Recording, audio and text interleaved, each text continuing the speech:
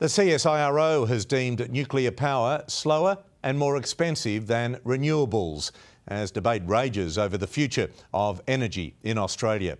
The coalition insists nuclear power will keep the lights on and cut emissions, but still won't reveal where the plants will be built. Finnish Fusion. These nuclear plants near Helsinki are the most efficient in the world. Now the Liberal Party want them here. This is one of the most profound changes of direction in energy policy in this country, certainly in my lifetime. But tonight, the CSIRO forecasting construction of large scale nuclear plants would cost at least $8.5 billion and take at least 18 years. When up and running, nuclear power would cost between $155 and $252 per megawatt hour to produce. Solar and wind between $100 and $140. Well, that seems like a bargain compared to the $12 billion and counting we're spending on Snowy 2.0 the CSIRO has completely torpedoed uh, this uncosted nuclear fantasy of Peter Dutton's.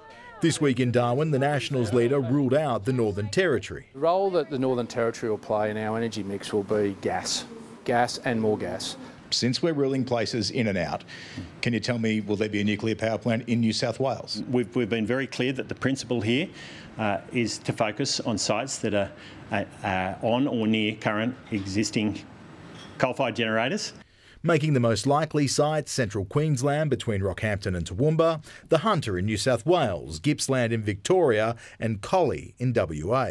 The important reason for this is that it means that you've got substantial costs that are otherwise necessary. Some in the coalition say we'll know in weeks, others say months, but any delay makes it harder to convince voters of this fundamental and complex change to our energy supply before the election. Here's Peter Dutton complaining about energy prices and saying, but don't worry, I've got a hugely expensive solution that I can get to you in a minimum of 15 years' time. Charles Croucher, 9 News. Let's go live to Charles in Canberra. Charles, one in four workers in line for a pay rise. Good evening to you.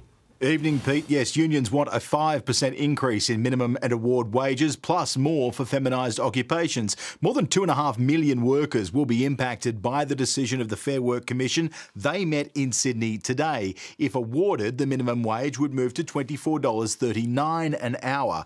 Now, business groups say that would hurt employment, arguing instead for a 2% bump. They point to productivity and tax cuts for workers in the budget. One in four workers, Pete, will be be impacted by this decision, which will be handed down in the coming weeks. OK, Charles, thank you.